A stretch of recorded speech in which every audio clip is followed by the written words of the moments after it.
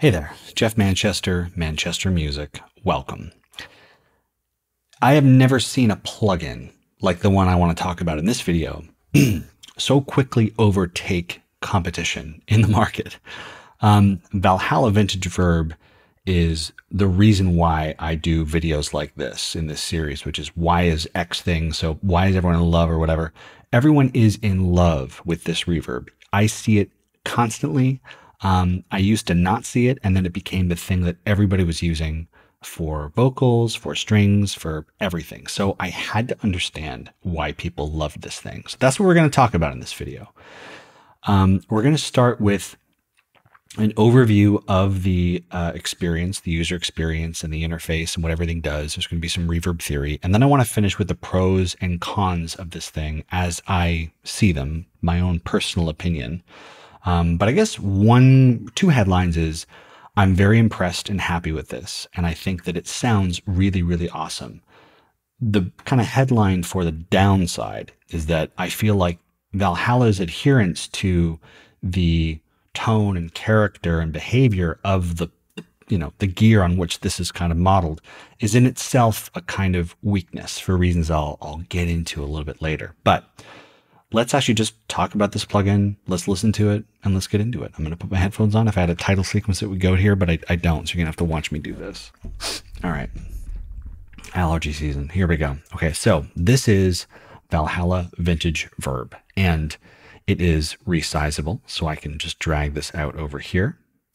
And I think it's one of the better small looking plugins too. When you bring this thing all the way down, it does look very kind of nice and compact, but we're going to bring it out a little bit for folks at home watching this on their telephones for some reason.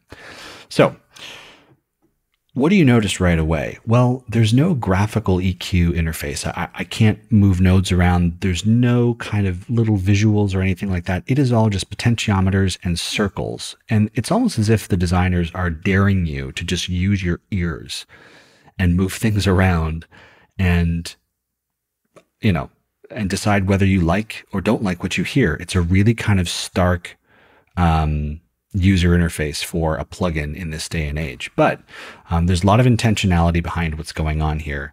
The first thing I'll say, beyond the fact that it's resizable, is that you have three different colors. Right now, we're hanging out in the 70s. You might think these colors are emblematic of the 70s. That's because you actually get three different kind of reverb flavors in this one vintage verb. The 70s, which if I mouse over this, it'll say it's downsample, 10K uh, bandwidth, dark, noisier modulation. We get the 80s, the colors change. Um, and then we get the, the now, which is uh, you can change this between darkness and lightness. I kind of prefer uh, things nice and dark there. Let's actually listen to all these different colors. Um, starting with the 70s, we are going to get a tighter, darker sound, in my opinion, a little noisy. And that's, as I understand it, emblematic of the kinds of verb units that were out there at the time. So this is 1970s.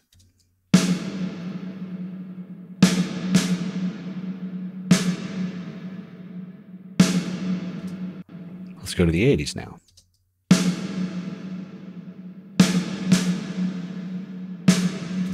Right away, we hear that difference, especially in the high end. We get that kind of fizz. It sounds like someone opened up a can of pop, like it's just like, which is kind of cool. So if you go to the 70s again, listen to the high end.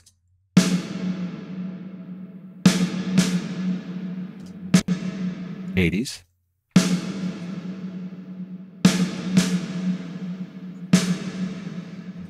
And then moving into now.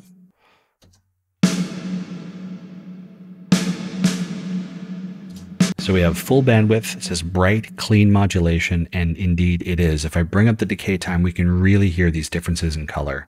Again, starting with the 70s.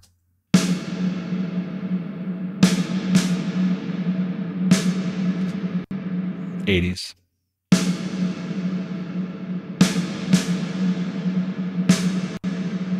And then now.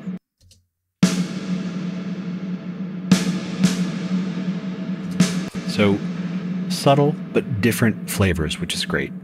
Um, let's start from the left to the right here with this plugin. So you'll notice before I do that though, as I mouse around, we get these little controls, little controls, little dialog boxes here. Tells you what pre-delay does, tell you what mix does, decay, damping, all that stuff. This is helpful, but it's especially helpful because Valhalla has decided not to produce any documentation for this plugin. They want everything to be in the UI, which we'll talk more about that later. So the mix knob. Right now I have this on an aux track and I'm sending um, sound source to it from the snare track. That's how you should set up all of your time-based effects for your. I don't care how powerful your uh, your CPU is and stuff like that. You should be setting up things like I just mentioned, and that's how I have it here. And that's why I have the mix parameter all the way at 100%. No dry signal is here. If I want, I can change it though. And one of the nice things is I can hit this, and then this is grayed out. So now as I move between different presets, the mix uh, knob stays the same, right? That pot stays the same. So I can go back to my chamber, large chamber, and that's very kind of handy and helpful. So obviously, I'll, we'll just do this zero mix. That's the sound of the snare. Mix at 100. Wonderful. We all know what a mix potentiometer does. Now we have pre-delay, and this basically just sets up a delay in the decay. So it takes, you know, 10 milliseconds for the decay to kind of kick in. Um, we can have none.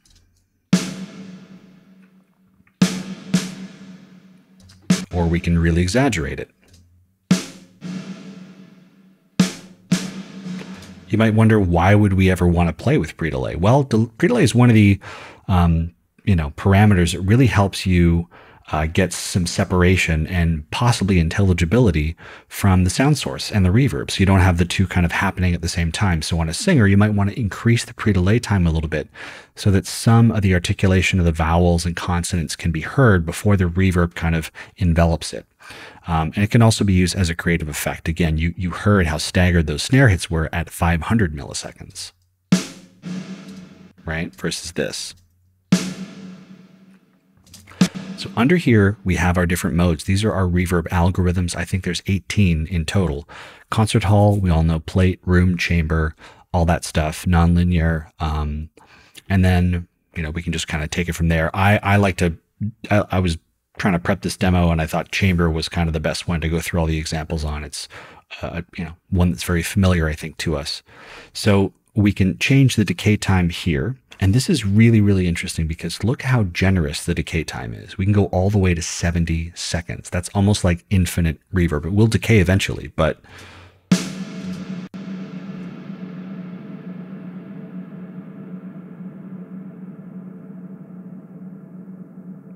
that's insane. For reverse reverb or any kind of sound design stuff, this is pretty powerful. Most decays that I've seen, and by the way, as I move this, it's still interpreting audio through the plugin. So it is still getting audio and changing the decay time, which is kind of cool. If you maybe want to like record on another track everything that you're doing um, and get some sound design stuff as you move the parameters around.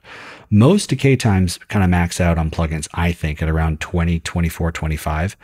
The fact that this goes to 70 is really, really cool. Um, that was a bad spinal tap reference. So that's decay time.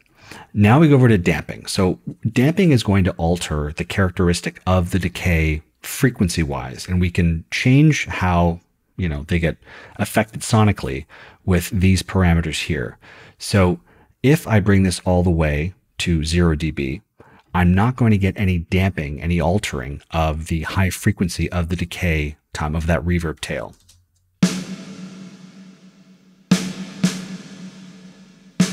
But if I cut this off, this high shelf, and bring it down to minus 24 decibels, now listen.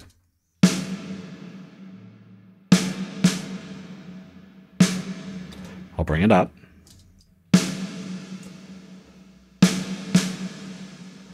So we get that kind of fizziness here, and we can control the fizziness by just, you know, cutting it off.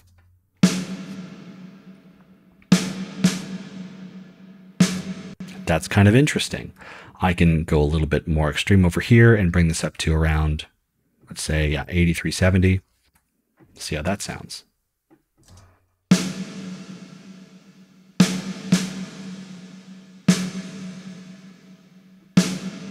So now we get a much more boxy sound, right? Because we're choking out those high frequencies in the reverb tail. Um, and this is maybe something you want to do. This is one way to control or manipulate frequencies. You could also do some EQ work or something like that. But damping, it's almost like you have absorptive materials on your walls such that you get less kind of reverb sound. It's being absorbed and sucked up by material in the room, which is kind of cool. Now, I've tried my best to really understand why I should be interested in the damping the bass frequencies uh, and also the bass mult. Without documentation, it is really hard for me to understand what this thing is doing and why I need to care about it. But I, I assume that this was a big part of the vintage uh, reverb units, and that's why they have these controls here. But again, would really love some documentation to understand what this thing is doing because these bullet points here controls the transition frequency at which the bass mult takes effect and then scales the reverb decay time for bass frequencies relative to the decay parameter. Okay, um, but all right. Anyway, so um, what I'm assuming is happening here is that uh, this is maybe the crossover point. Um, and if I see a scales and an X here, maybe this means that my decay time will be, if I put this to two, maybe this is like two times four, so eight for the, the, the bass frequencies. I'm again, I'm, I'm not really sure. Um, I try to do these videos and really understand everything I can about the plugin, but all I have is a video from the team and no documentation and my ears. So I'm doing the best I can. But anyway, let's just move on from the bass freak and bass mult parameters here. I think we understand what damping does. Um, and let's go over here to shape. Now, shape is uh, a set of parameters to control the simulated size of the room in which the reverb is, you know, decaying and moving around and you know, all that stuff. So if I choose a very large size here, we have a very big room um, for about seven seconds of decay time for the reverb. So let's have a listen to that.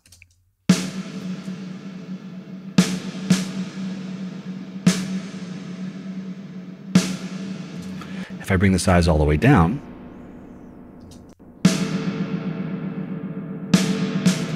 what do you hear? Well, we're in a much smaller space, so the reverb can't really bloom, but you're also going to get a more metallic kind of sound, right? You hear that ringing?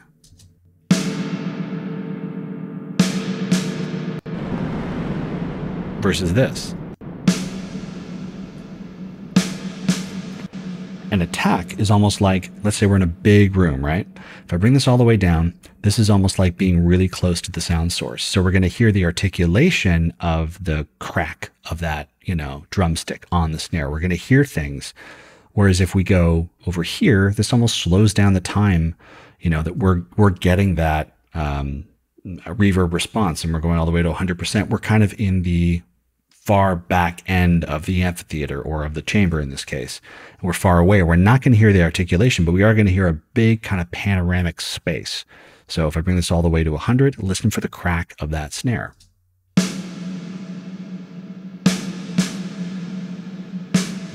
Versus 100.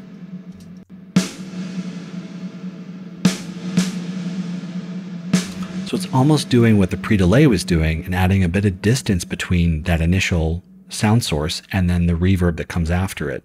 And when we think about doing things to increase intelligibility and all that stuff, you know, you might want to play with attack and make it a little, you know, a little more on the on the lower percentage side to get a bit more articulation out of out of what's going on, but you still want it to be touched or kissed or doused with reverb, right? So you can play with these things to alter the sonic character of, of, of the reverb and how it affects your your sound source. So that's kind of cool. Um, Moving over here to diffusion. So what this is going to do is give us two different kind of flavors of well, reverberation. If I bring this all the way, these are early reflections, by the way, and late reflections. If I bring this all the way to zero, what we're going to get is something close to delay. We're almost going to get staggered, repeated sounds. Have a listen.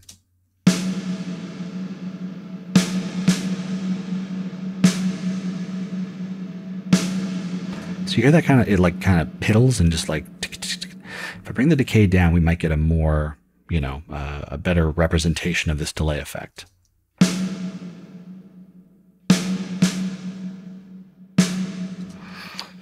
I'm not sure why I'm not really getting the thing I'm looking for. Let me increase the pre-delay, see if that does it. Nope.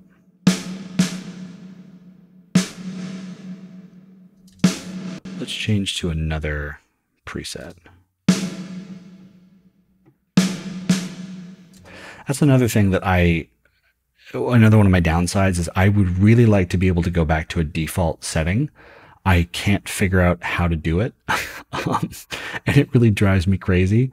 If there were a way to do it, cool. I mean, I could hit default, but watch what happens here when I go to factory default. It defaults to uh, this rich chamber. Let's see if this gives me what I need for my example.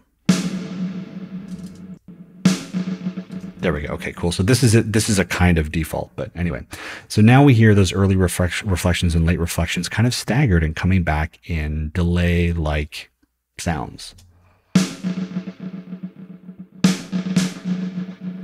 If I bring them up, we get a more unified, uniform bloom of the reverb that we're used to. And of course, you can play with this. You can make the early reflections kind of staggered and the late ones more traditional reverb. Or you could do the inverse, right? And have the early reflections more like reverb and late more like, you know, those staccato delays.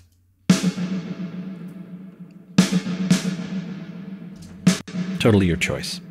So I want to go to another sound source in this file to uh, in this file in this session to show you what's going on with the next set of parameters. So I have Valhalla here on this organ, which sounds like this. Uh, let me just bypass it. So very, very dry.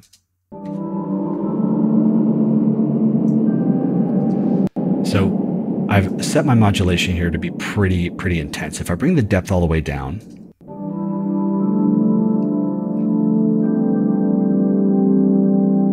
listen to it decay. Very kind of normal, expected. But if we change the modulation parameters here, find a kind of area here, find a, a, you know a rate here that works for you, and then bring up the depth, we get a smearing kind of. I think they describe it as C6 sound. This is almost like how to sound like Boards of Canada um, in a couple parameters. So listen to this: 100% depth, 6.29 uh, hertz up here on the rate.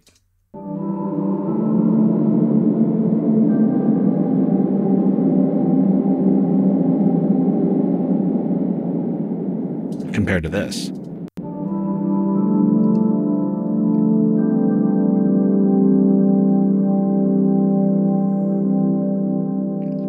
So if you really want to bring out that kind of vintage, you know, kind of woozy lo-fi vibe, this is a great way to do it. If, if I bring it up even more, I think uh, upper, you know, beyond four, north of four, I think you, you, get some really kind of wacky effects. Let me bring this all the way to uh, 100.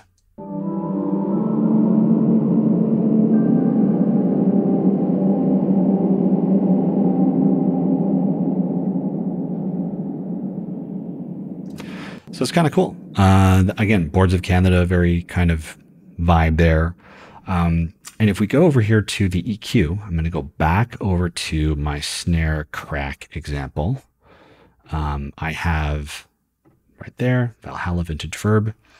Um, okay, now it's it's gone back to default, which is crazy. Okay, there's something going on here. But um, we have our EQ section, and this is basically allowing us to protect certain parts of the signal from reverb. So we have our high cut, which if I bring it all the way over here, sounds like this.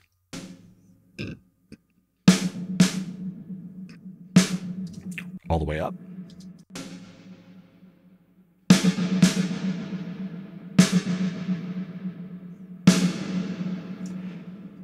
So you can almost imagine a low pass happening as I bring this all the way down so that I don't allow the high frequencies to be affected by reverb. Let's bring it up.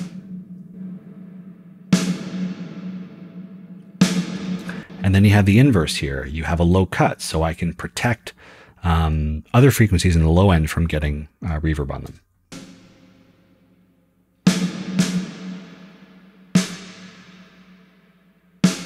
So this is uh, almost imagine an EQ after uh, vintage verb on your kind of plugin chain.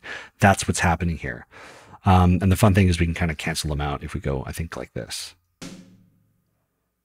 So this is a very tight, controlled reverb sound. We're protecting a lot of the uh, frequency from reverb, which is, you know, something you might want to do, you might not. So imagine these as kind of high and low passes protecting uh, the sound from from vintage verb. So we also have a number of presets over here. Uh, default is not one of them, as far as I can see. Um, but you know, some designer presets here. I think Don's one of the one of the guys that I talked to over there. Um, so they're obviously adding presets here all the time, which is great. Um, and I think these guys are ready for for the M1 chips and the Macs. I'm still on the Intel one.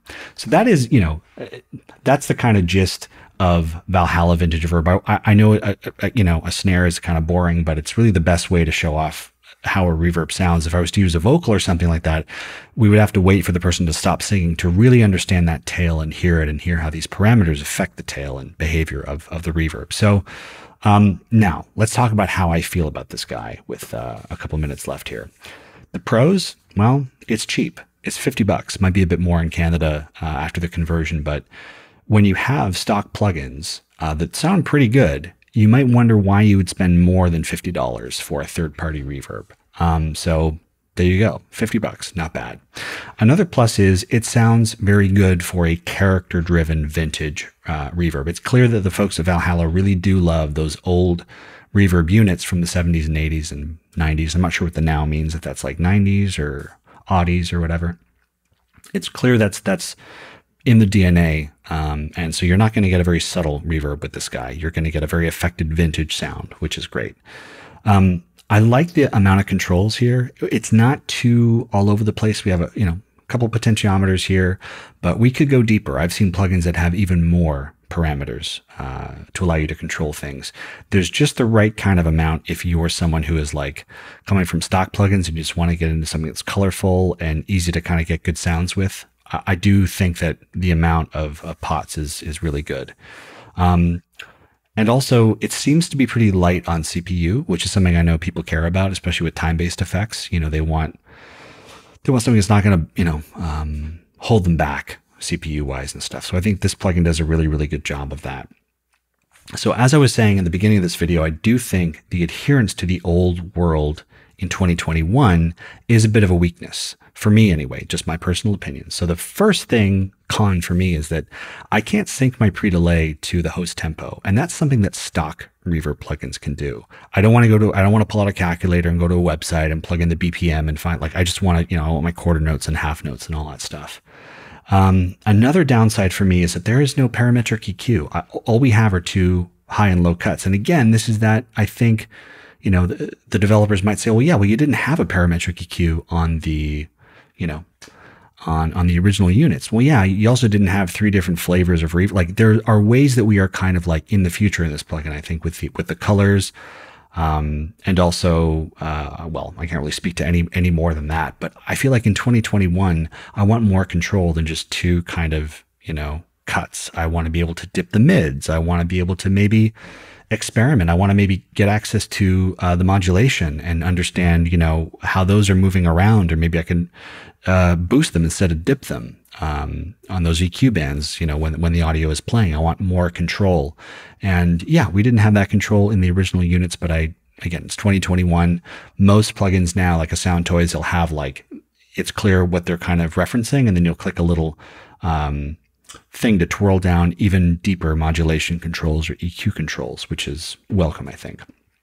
Um, there is no documentation. And again, I make these videos and I try to do a really deep dive and understand everything, every little parameter. And if folks are saying like, oh, that doesn't do what Geoff, what you think it does or whatever, there's no way for me to really know and understand everything here about this plugin if there's no documentation. I'm the kind of person who really likes to read the stuff and get it so that I can do a video that's informed and I can't really do that with this plugin. I just have to mouse over and again use my ears, which I think is awesome. Um, but that's something that um, I really wish uh, they would kind of change.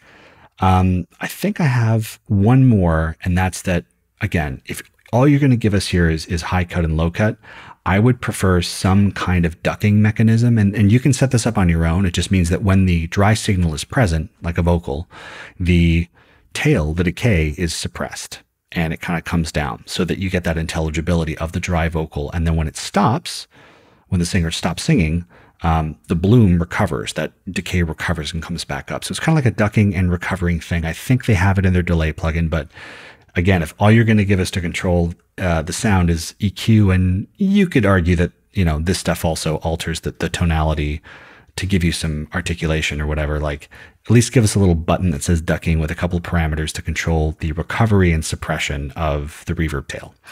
But again, they might be like, you didn't have that on the old units. And yeah, I get it. I get it. Got it. So anyway, um, but what do you guys think? Do you have this? Are you thinking about getting it? Have you seen it everywhere and you've kind of wondered, well, maybe I should get it too? I really want to know if this video moved the needle or changed your attitude or behavior at all, um, or if it helped kind of get you thinking about what some of the parameters that you maybe didn't know, you know, what they did. Now you do know what they did. So I'd love to hear from you. Really, I read every comment. Vodcast podcaster at gmail.com. Um, overall, for 50 bucks, I think this is a really great tool to have, especially if you're thinking about graduating from stock plugins um, and you want to get into reverbs. And again, all of my cons, again, you could just put an EQ after the reverb, a stock EQ, and then you have your parametric EQ. If you want to do ducking, a lot of people complain about this, but you can set it up with compressors. It's pretty easy to do. Just YouTube, you know, ducking or whatever, and you'll you'll find some videos for that. Documentation, not really a con. Uh, but for me, a little bit. So all of my cons are pretty manageable, I think. Um, but anyway, I do want to know what you think. Let me know in the comments. Thank you and uh, have a great life. Goodbye.